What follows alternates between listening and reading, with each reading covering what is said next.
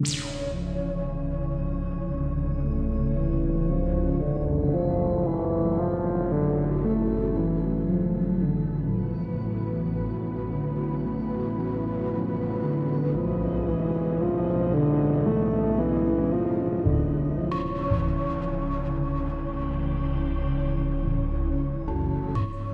ufalar, hayaletler, kuyulardan gelen garip sesler, yeraltı şehirleri, Sümerler, Anunnakiler, reptilyanlar hepsi birbirinden gizemli konular elbette. Peki 225 kilometre boyunca uzanan bir vadi var ve bu vadide yüzlerce kiloluk taşlar kendi kendine hareket ediyor ve ardından da bunu kanıtlarcasına izler bırakıyor dersek ne dersiniz?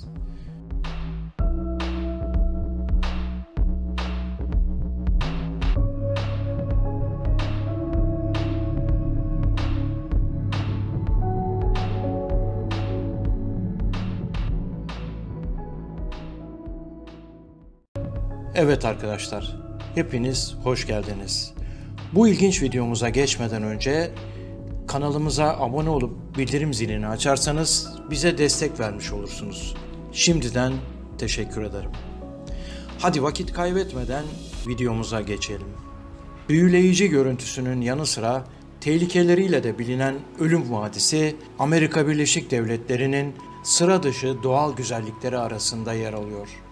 Ölüm Vadisi, Kaliforniya'nın güneyi ve Arizona sınırı boyunca 225 kilometre uzanıyor ve 13.650 kilometre karelik bir alanı kapsıyor. Büyük Mojave çölünün bir parçası olan ve Alaska'nın güneyindeki en büyük milli park olarak adını duyuran Ölüm Vadisi, aynı zamanda Kuzey Amerika'nın en sıcak ve kurak noktası olarak da biliniyor. Vadi adını yaşanmış bir olaydan alıyor. 1849 yılında Kaliforniya'da altının bolca bulunduğunun keşfedilmesinden sonra binlerce kişi yaz mevsiminde altın madenlerine akın ediyor.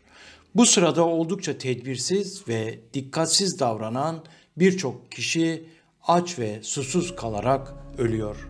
Hayatta kalanlar vadiden ayrılırken grup içindeki bir kadın hoşça kal ölüm vadisi diyor ve vadinin bugünkü adı da günümüze kadar ulaşmış oluyor. Aşırı uçlarda gezinen iklim şartları her yıl yaklaşık olarak 1 milyon ziyaretçiyi kendisine çeken Milli Park'ta 3000 metre yüksekliğinde heybetli ve bir o kadar ürkütücü dağlar dikkat çekiyor.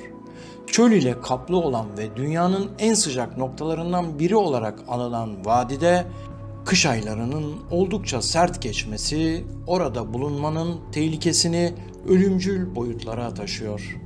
Vadinin iklim yapısı öyle aşırı uçlarda seyrediyor ki yaz aylarında sıcaklık 50 dereceyi aşabiliyor. Sıcakların ve kış aylarında dondurucu soğukların yanı sıra yıl boyunca şiddetli fırtınalar ve sellerle de karşılaşmak oldukça mümkün.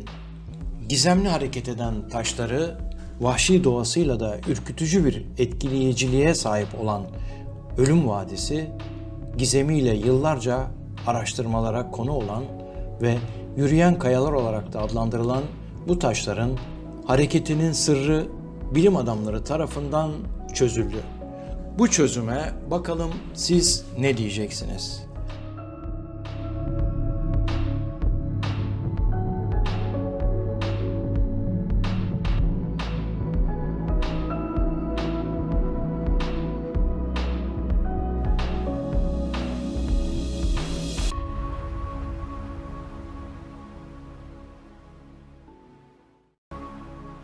Araştırmalar sonucu anlaşıldığı üzere belli zamanlarda kuru toprağın içerisinden çıkan yeraltı suları kayaların kolaylıkla hareket etmesine olanak tanıyor.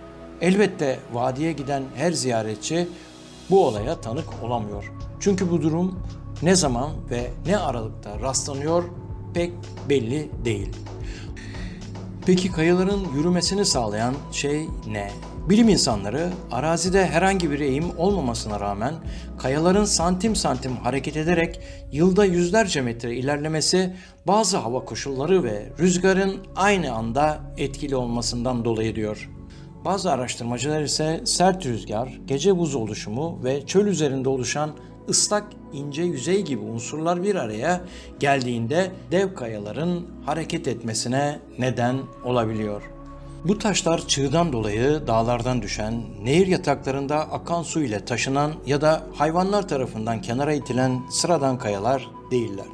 Bu kayalar bazıları 300 kilogram civarında düz bir çölde sert ve kupkuru çamurun üzerinde izler bırakarak hareket ediyor ve bunlardan bazılarının bu şekilde aldıkları yol yüzlerce metreyi bulabiliyor.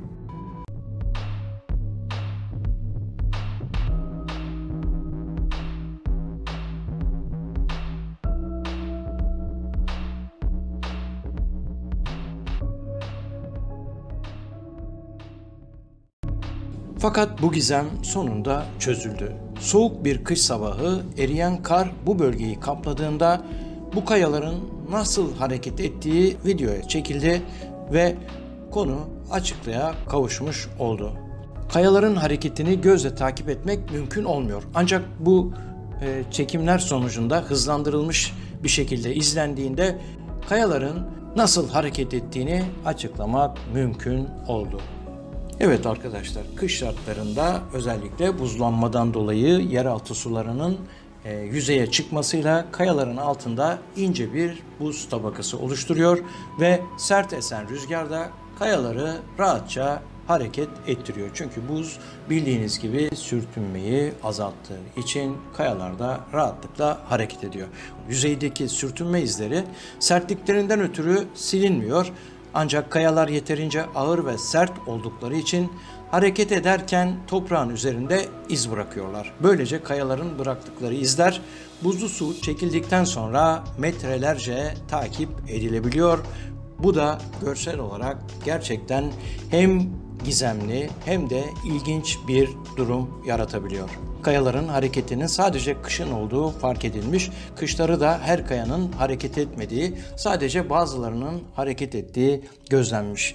Her yıl hareket eden kayaların rastgele değiştiği ve önceden de tahmin edilebileceği gibi belli bir düzeni olmadığı kanıtlanmış. Gözlemler sırasında en küçük olan 6.4 santimetre çaplı Nancy isimli kaya kış içerisinde en uzun mesafeyi 260 metre e, yol aldığı gözlenmiş. E, tüm gözlemler sırasında hareket eden en büyük kaya ise 35 kilogram ağırlığında olan bir kayaymış. Böylelikle bize çok ilginç ve gizemli gelen e, bir konuyu bilim insanları aydınlatmışlar. Evet arkadaşlar bir videomuzun daha sonuna geldik. Beni buraya kadar izlediyseniz, abone değilseniz abone olmanızı rica ederim. Beğeni bırakır, yorum yaparsanız sevinirim. Bir başka videoda tekrar görüşmek üzere. Hoşça kalın, sağlıcakla kalın.